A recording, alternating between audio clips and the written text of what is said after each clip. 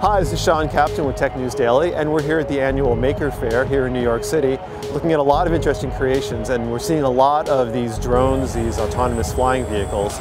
We're here with Ted Carancho from Aeroquad. Aeroquad. And uh, Ted, can you tell us a little bit about uh, what this is and how it comes together and, and what it costs? Okay, absolutely. Um, this is our Aeroquad. It's a quadcopter. They have four rotors. So these sensors are what tells uh, the quadcopter to be level.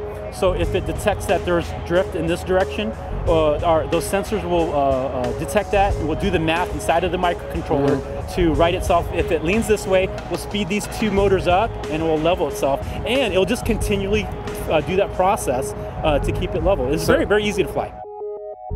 In your phone, you've got all the sensors you need to fly a plane. You know, the, every Android or, or, iPhone has gyros, accelerometers, and compass, and GPS, and wireless, and processing, and, and these chips are available to anybody.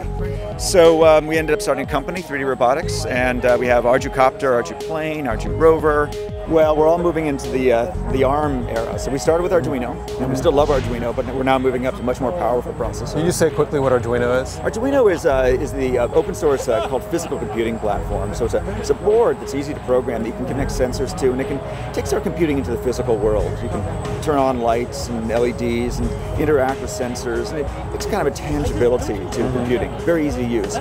We started with Arduino, mm -hmm. and that's still our main uh, system that we like to fly.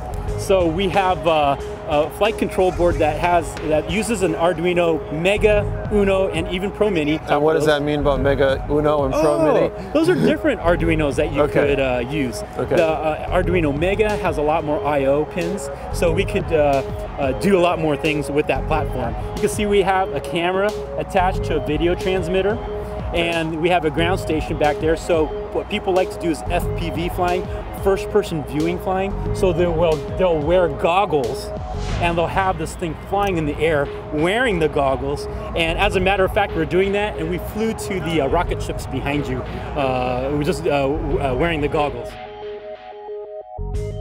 So what, one of the things we did recently is we participated in a DARPA competition called UAV Forge. Mm-hmm. And what we did is we, they, they took us to a, a, forest.